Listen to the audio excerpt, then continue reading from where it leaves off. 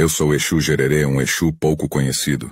Apresento-me sempre com uma armadura, carregando um tridente e uma espada, porém confundido com Exu Ganga, que por sua vez, é por demais conhecido dentro das giras umbandistas e quimbandistas, e sou o Exu, elemento desta forte e perigosa linha da quimbanda.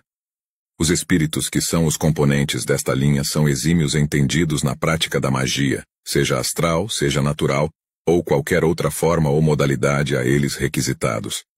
Minha atuação principal é dentro da magia voodoo, muito conhecida a nível superficial, sendo esta modalidade da magia, ensinada a pouquíssimos iniciados, haja vista sua complexidade, sua extrema e perigosíssima eficiência, que em mãos erradas podem resultar grandes, e às vezes irreversíveis consequências, tanto ao operador quanto à infeliz vítima.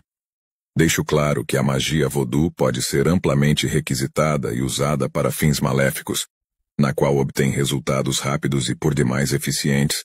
Contudo, a magia voodoo também, e deveria assim ser, utilizada para fins benéficos e virtuosos. Os espíritos que se apresentam dentro desta linha são denominados vulgarmente de gangas, este fato é existente pelo pouco conhecimento que se tem que o chefe desta linha que sou, Exu Gererê. Se você gostou, deixe seu laroyer, e nós siga para mais vídeos como este.